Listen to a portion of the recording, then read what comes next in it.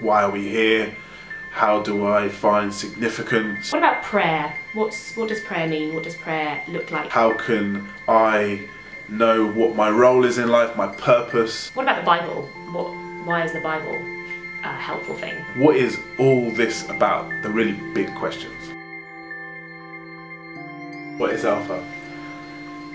Alpha's an international movement of people coming together who are sharing this journey whereby they're trying to understand, work out what what is life all about. Alpha is um, a space to ask questions and the big questions about life and faith. And an Alpha evening consists of eating some pudding together and some cheese and having some coffee.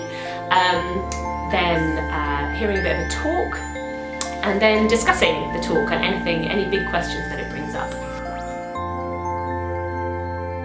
Alpha is uh, good for people who might have been coming to church for years but may still have big questions about these things, and it's also good for people who um, have never set foot in the church. I think if you're at a point in your life where you're, you genuinely have realised that um, you know the kind of the the way that we live in society, the, the kind of Western idea of having a nice car and you know having 2.4 children and a house and all that. If you've got to a point in your life where you've realised that that that's not all there is, that actually that that's not what will fulfill you, that there's more to life than those things, then I think Alpha is a good place to go to actually safely and openly ask those questions, address those questions discuss those questions together.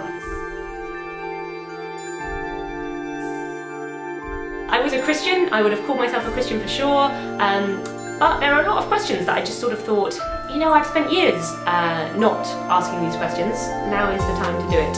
Um, and I really enjoyed it. I found it a really um, helpful space to just be free to discuss with other people some of the things that um, uh, confuse me or uh, were buzzing away in my mind about the Christian faith. For the first time in a very long time, I, I met with people who were strangers, yet it was a, a kind of a climate of such caring and togetherness and in particular there were some people on that course that really looked out for me. I've also been involved in the in the course before um, with, with a group and um, discussing with a group um, and that was brilliant. We had some amazingly different, diverse questions um, from people from a whole variety of backgrounds um, who had just some great questions to throw in about um, the Bible, about prayer, about Jesus, um, and it really invigorated my own faith hearing other people's questions and discussing them together. I mean, I could talk about it all day long,